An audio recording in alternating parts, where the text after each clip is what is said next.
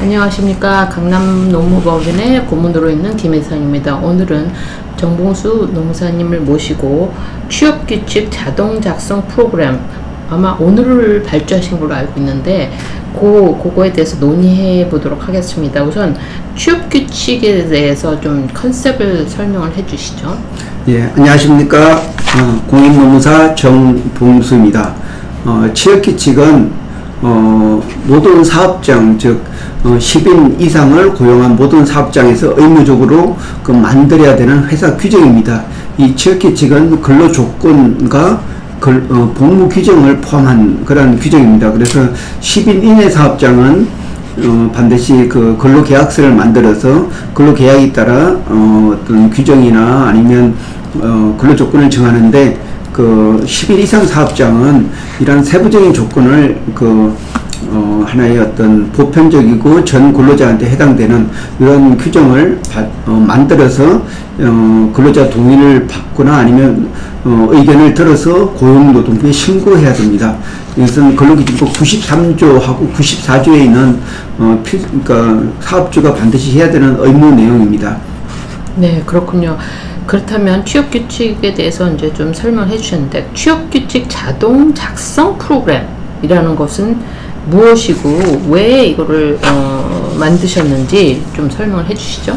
예, 그 취업규칙을 어, 취업규칙 자동 작성을 강남 노무법인에서 어, 외, 그러니까 외주를 통해서 프로그래머한테 그 만들어 달라고 의뢰를 오늘 했습니다. 그 이유는 제가 그 공인 노무사로서 20년 동안 많은 회사들한테 취업규칙을 만들어주고 또 관리하고 있습니다. 또 수정하는데 그 보완돼서 또 보고도 하고 노동부 신고도 대행해주고 있습니다. 근데 여기에서 어, 어떤 강남노분에서 있는 좋은 표준을 가지고 하게 있지만은 사실 그 어떤 그 노무사 개인의 의지에 따라서 너무 많이 어, 변화가 있습니다.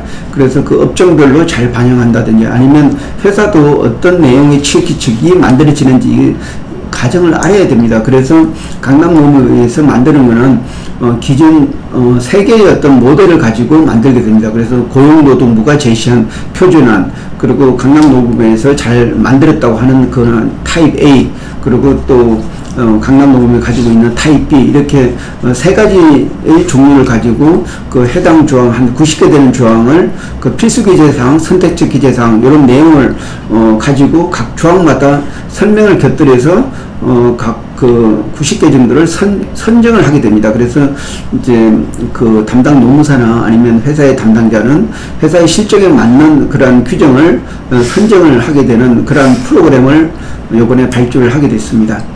네, 그렇군요. 그럼 모든 사업장, 그러니까 사업장들한테는 이게 말하자면 헌법 같은 거 아닙니까? 어, 그렇다면 이 그 취업 규칙 매뉴얼 관련해서 요 강남 노무법에서 만든 그 규칙에 따라서 각 사업장별로 특색에 맞게 또, 음, 또 더 추가하거나 그럴 가능성이 높은 것 같은데 그러면 그 사업장에서 이거를 어떻게 활용하면 좋을지 좀 설명해 주시죠.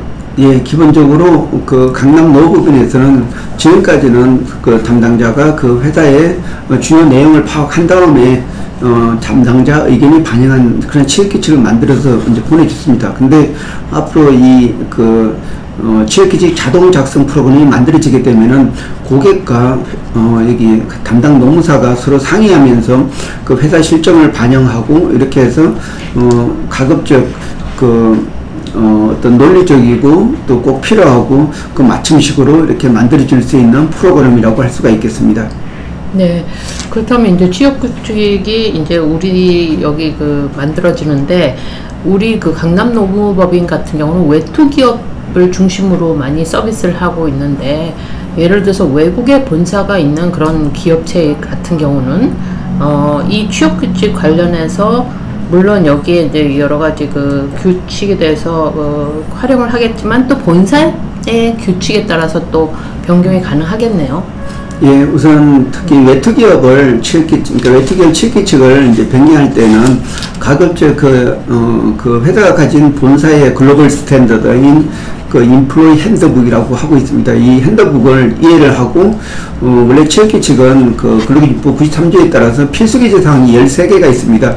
이런 사항이 들어가야 되는 걸 반영을 하고, 또 그 회사의 그 어떤 어, 맞는 그 업종에 맞는 그러한 취업 규칙 그리고 또 그러한 근로 조건 그리고 복무 규정 이런 부분을 고려하고 또 회사가 이제 추구해야 되는 어떤 어 복지 제도나 아니면 근로 조건 또 근로 시간 제도나 아니면 그런 또 휴가 사용 제도 이런 부분까지도 그 회사의 기존의 어떤 global standard를 반영해서 해주고 있습니다. 그리고 특히 우리 강남로의 특징이 이렇게 한글로 만드는 게 동시에 영어로 전환이 됩니다.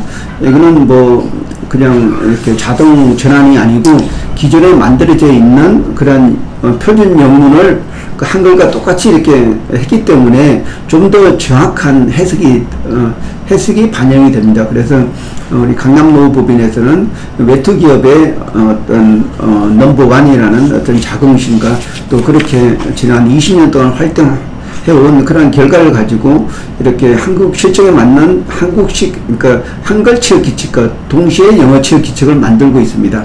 그리고 특히 그 외국인 그 본사 그 인사 담당자하고 직접 그 줌으로 회의를 한다든지 아니면 또 이메일로 이렇게 커뮤니케이션을 하면서 만들어주기 때문에 어느 다른 어, 로펌이나 또 노업법인보다 그 맞춤식 그 취업 기칙을 만들어주고 있습니다. 네. 어, 앞으로 이제 이런 취업 규칙 그 프로그램을 이제 만드시면 많은 기업체들이 활용할 수 있었으면 좋겠습니다.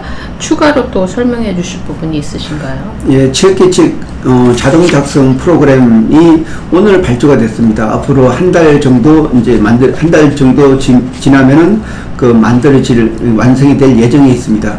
그래서 이거는 굉장히 기대되는 게 어, 지금까지는 어, 더 다양한 뭐 자동 계산 기능이나 근로 계약 작성 또 그 외에 어뭐 어 인사 그러니까 인사 노무 관련된 서식을 다운받는 어떤 단순한 기능으로 만들었는데 이 취업규칙 그 자동 작성 프로그램은 약 90개 정도의 어떤 각 한, 각 조가 되어 있기 때문에 굉장히 복잡한 그런 과정을 거치게 됩니다.